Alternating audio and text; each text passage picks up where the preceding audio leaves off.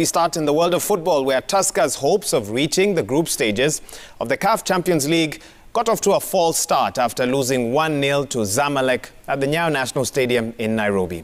The Brewers squandered numerous chances in the first half as the Egyptians struggled to settle into the game.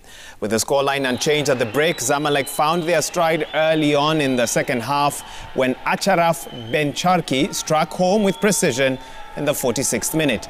The two sides will now lock horns in Egypt during the second leg.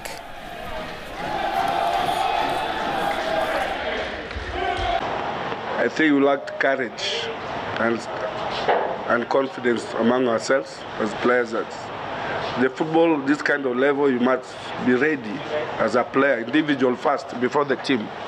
So that one we lacked a lot. In first half, uh, Tusker uh, did succeed in uh, pressing us very high, so it was difficult for us to play the, the, the way we like to play.